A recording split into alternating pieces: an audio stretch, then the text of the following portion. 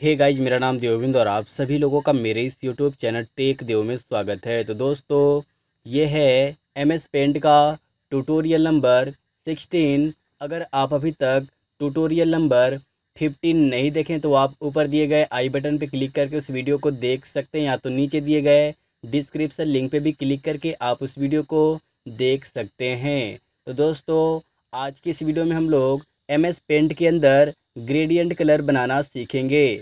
Okay? तो चलिए start करते हैं। तो आप यहाँ पे देख सकते हैं, मैंने अपना M S paint software open कर लिया। इसके बाद आप यहाँ पे देख सकते हैं, आपके वर्किंग एरिया के राइट साइड में आपको एक स्क्रोल बार मिलेगा तो आपको इसको नीचे कर देना है। नीचे करने के बाद आपको यहाँ पे डाउन साइड में भी आपको एक स्क्रोल बार मिलेगा तो आपको इसको राइट साइड में स्क्रोल करना है। राइट साइड में स्क्रॉल करने के बाद आप यहाँ पे देख सकते हैं, आपको यहाँ पे एक छोटा सा पॉइंट मिलेगा। तो आपको अपना कर्सर इस पॉइंट के ऊपर लेकर जाना है। जब इसको आप यहाँ पे लेकर जाएँगे तो आपका जो कर्सर है, ये एरो में कन्वर्ट हो जाएगा। आप यहाँ पे देख सकते हैं। तो जब ये एरो में कन्वर्ट हो जाए तो आपको अपने माउस का लेफ़्ट बटन दबाना है और इसको दबाने के बाद आपको इसको टॉप साइड में ड्रैग एंड ड्रॉप करना है। ओके तो आप यहाँ पे देख सकते हैं, मैंने इसको यहाँ पे टॉप में ड्रैग एंड ड्रॉप कर लिया। इसके बाद आपको इसको थोड़ा सा छोटा कर देना है। ओके तो आप यहाँ पे देख सकते हैं, मैंने इसको यहाँ पे फिट कर दिया। और फिट करने के बाद आपको जाना है आपके अपने शेप में। और शेप में जाने के बाद आपको यहाँ पे सेलेक्ट करना है लाइन और लाइन को सेलेक्ट करने के बाद राइट साइड में आपको मिलेगा इसका साइज़ तो आप यहाँ पे क्लिक करके वन पिक्सल का इसका साइज़ सेलेक्ट कर लीजिए। इसको सेलेक्ट करने के बाद आपको अपने वर्किंग एरिया में लाइन बनाना है। ओके तो मैं यहाँ पे लाइन बना देता हूँ। ओके तो जब आप अपना लाइन बनाएँगे तो आपका वर्किंग एरिया पूरा ब्लॉक होना चाहिए। ओके तो आप यहाँ पे देख सकते हैं, जो लाइनिंग मैंने यहाँ पे क्रिएट किया है, ऊपर यहाँ पे थोड़ा सा कम हो गया है, आप यहाँ पे देख सकते हैं। ओके तो आपको इसको ड्रैग एंड ड्रॉप करके ये पूरा कवर कर लेना है। ओके तो आप यहाँ पे देख सकते हैं, मैंने यहाँ पे टॉप में और राइट साइड में पूरा ब्लॉक कर दिया। आप यहाँ पे देख सकते हैं। ओके तो आपको इसी तरह यहाँ पे कुछ लाइनिंग क्रिएट कर देना है। ओके तो मैं यहाँ पे अपना लाइन बना लेता हूँ। ओके तो आप यहाँ पे देख सकते हैं, मैंने अपना लाइनिंग क्रिएट कर लिया और लाइन को क्रिएट करने के बाद आपको यहाँ पे सेलेक्ट करना है आपका अपना फिल विथ कलर टूल और इसको सेलेक्ट करने के बाद आपको यहाँ पे लेना है अपना कलर तो मैंने यहाँ पे ले लिया इंडिगो कलर और इसको लेने के बाद मैंने इसमें कलर फिलअप कर दिया। ओके तो मैंने यहाँ पे क्लिक करके इसमें अलग अलग कलर फिलअप कर दिया। ओके कलर को फिलअप करने के बाद आपको यहाँ पे एक ऑप्शन मिलेगा रिसाइज का, जिसका शॉर्टकट की आपको मिलेगा कंट्रोल प्लस डब्लू बटन तो आप एक बार यहाँ पे क्लिक कर दीजिए। इसके ऊपर क्लिक करने के बाद आपका रिसाइज एंड स्क्यू का एक छोटा सा डायलॉग बॉक्स ओपन हो जाएगा। इसके बाद आपको नीचे यहाँ पे एक ऑप्शन मिलेगा रिसाइज का और इसके अंदर आपको यहाँ पे बाई करके आपको दो ऑप्शन मिलेगा। फ़र्स्ट मिलेगा आपको परसेंटेज का और सेकेंड मिलेगा आपको पिक्सल का। ओके तो आप चाहें तो यहाँ पे पिक्सल के ऊपर भी क्लिक कर सकते हैं या तो आप चाहें तो यहाँ पे परसेंटेज के ऊपर भी क्लिक कर सकते हैं।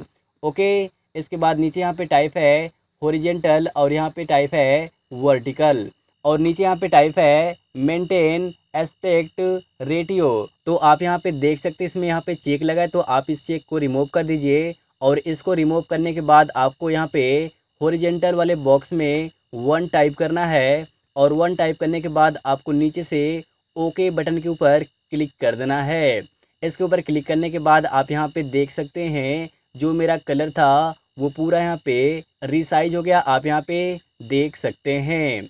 इसके बाद आपको फिर से क्लिक करना है। रिसाइज ऑप्शन के ऊपर, इसके ऊपर क्लिक करने के बाद आपको यहाँ पे अपना मेंटेन रिमूव करना है और इसको हटाने के बाद आपको यहाँ पे होरिजेंटल में वन टाइप करना है और वन को टाइप करने के बाद आपको यहाँ पे ओके बटन के ऊपर क्लिक कर देना है। इसके ऊपर क्लिक करने के बाद आपका ग्रेडियंट कलर मिक्स हो जाएगा। इसके बाद आपको फिर से रिसाइज ऑप्शन के ऊपर क्लिक करना है और इसके ऊपर क्लिक करने के बाद आपको अपना मेंटेन करना है रिमूव और इसको रिमूव करने के बाद आपको यहाँ पे टाइप करना है फाइव हंड्रेड ओके तो मैंने यहाँ पे टाइप किया फाइव हंड्रेड इसके बाद आपको यहाँ पे ओके बटन के ऊपर क्लिक कर देना है। इसके ऊपर क्लिक करने के बाद आपको फिर से रिसाइज के ऊपर क्लिक करना है। इसके ऊपर क्लिक करने के बाद आपका रिसाइज का डायलॉग बॉक्स ओपन हो जाएगा। इसके बाद आपको मेंटेन को करना है रिमूव और इसको रिमूव करने के बाद आपको यहाँ पे 500 टाइप कर देना है। ओके इसके बाद आपको यहाँ पे ओके बटन के ऊपर क्लिक कर देना है।